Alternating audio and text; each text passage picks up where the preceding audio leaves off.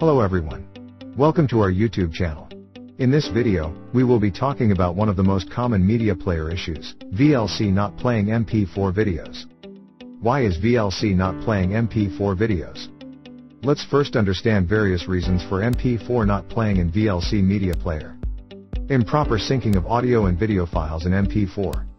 Unsuitable codecs for playing MP4 files. Using outdated VLC version. Corrupt MP4 files. Interruption while downloading MP4 files. Resolve the VLC player not playing MP4 video issue. Method 1. Resolve MP4 codec issues. To resolve the codec issues, you need to convert MP4 files into other media formats that are compatible with VLC media player.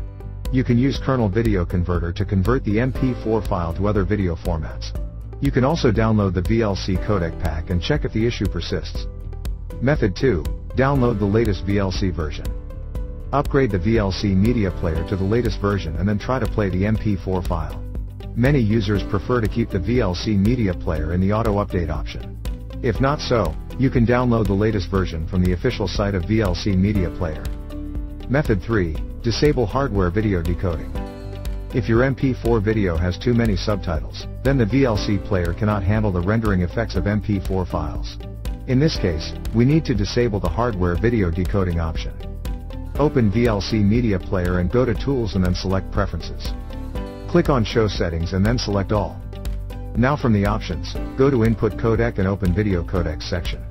Then click FFmpeg and disable the hardware decoding option. Method 4. Use a professional video repair tool. If the MP4 file is corrupt, none of the previously discussed methods will work you need to switch to a professional tool. One such a tool is Kernel Video Repair. It is designed to repair all the corrupt or lost video files in various formats.